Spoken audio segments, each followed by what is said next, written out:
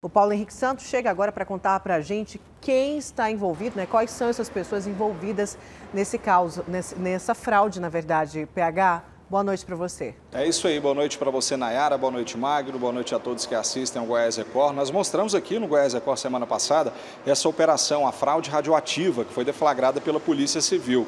Na ocasião, três pessoas foram presas, né, sendo duas advogadas e um servidor estadual aposentado, um coronel da reserva aposentado, que também foi preso e seria o líder do esquema. Também foram cumpridos 11 mandados de busca e apreensão.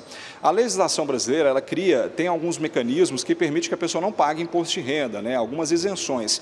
Entre elas, pessoas que foram contaminadas com radiação. Basicamente para pessoas que se contaminaram com Césio 137 aqui em Goiânia em 1987. Seria uma forma de compensar essas vítimas. De acordo com a polícia, o golpe funcionaria o seguinte: esse escritório de advocacia, né, junto com esse servidor estadual aposentado, eles forjavam exames, inclusive exames é, feitos fora do Brasil, nos Estados Unidos, para, de certa forma, provar que aqueles servidor, geralmente um servidor também do Estado, aposentado, é, teve contato de alguma forma com o Césio 137 e se contaminou.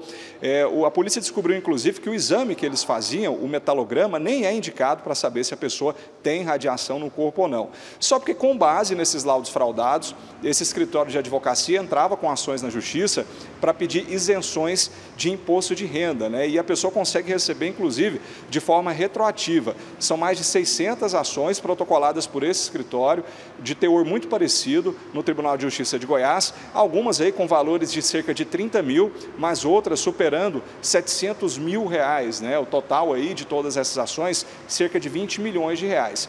Por conta dessa operação e da denúncia, o presidente do Tribunal de Justiça decidiu suspender então todas as 644 ações que correm do mesmo teor, justamente porque tudo indica que foram comprovados, né, foram usados documentos falsos, fraudados, para dar início aí a esse questionamento judicial. Por conta disso, todas estão suspensas. Magna Nayara.